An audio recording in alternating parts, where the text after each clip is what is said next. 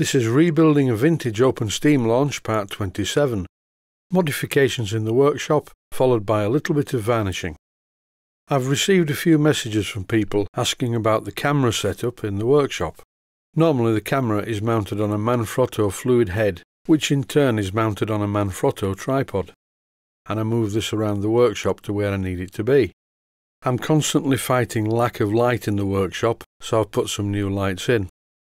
These are far better, and the working areas are all much brighter now. At the beginning of this video, I showed a camera mount that I made that was over the Boxford lathe, and this is a camera mount that I made which is over my old Smart & Brown 1024 lathe.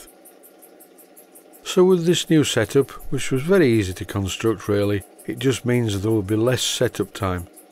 I can just clip the camera into the holder on the lathe that I wish to video. This new system is far better, much more accurate. No more balancing the tripods on the lathe bed, which takes time. With these new camera mounts directly over the lathe, it will make things much simpler. And in the forthcoming video series, How to Build a Model Steam Engine, starting with number one, which will be a Stuart Models Victoria, there will be quite a lot of video footage of the machining operations. Time now for the rest of the video, which is about the model open steam launch. I've given the entire top surface of this boat a very very light rub down with some Scotch-Brite to key it for the next coat of varnish. I'm applying the varnish with a varnish brush that I use, which is a very good quality brush, more about that in a moment. I'm using an oil-based polyurethane varnish which is very tough and will protect the wood for many years to come.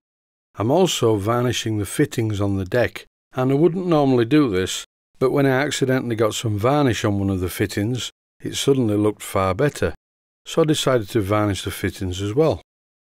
This is the brush that I use for varnishing. It's a very good brush. As far as paintbrushes go, it's really good. I just use this for varnish jobs, and it's excellent. It never sheds any bristles, and it applies the varnish very evenly and very smoothly.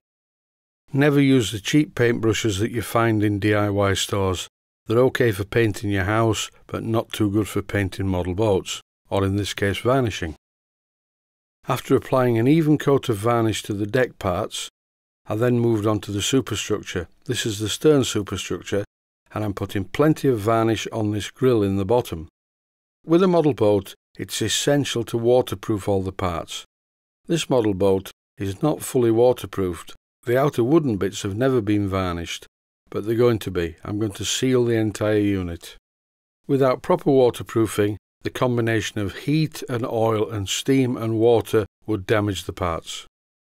Whenever I use this oil-based polyurethane varnish, I always have a companion pot of white spirit, and this allows me to fully control the viscosity of the varnish. This polyurethane varnish can be a little bit sticky, and if the brush starts dragging, then I just dip the tip of the brush into the white spirit and then mix the white spirit with the varnish that's already on the wood. You have to be careful here and you really do need to practice.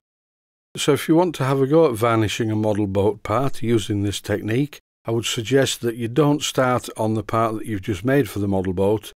Practice on a piece of scrap wood and see how it turns out. You'll soon get the feel of it, and when you get it right, you get a really good finish. Sometimes it can always look as good as a sprayed part. With the bow and stern superstructure parts varnished, it's time to varnish the seating. First of all, I stuck back the leg that's missing. And in fact, on the front part of the seating, there's a leg missing entirely, so we'll have to make one of those. I'll show that in a future episode. In exactly the same way as the deck and the superstructure parts, before varnishing, I gave them a light rub down with some Scotch-Brite. I didn't want to use sandpaper because that may have made the parts look very patchy once I overcoated with the new varnish. When I varnish parts like this, I tend to varnish the underside first, followed by the top side, but then the varnish runs through from the top side to the underside, so I revisit the underside and remove the surplus varnish, and this way it doesn't look like the part's been painted with a tar brush. This can be quite a messy job and you do get some of the varnish on your fingers, but you can remove this with some white spirit quite easily. During the varnishing of these seating units, I noticed that there are some bits and pieces in between the lats on the seating.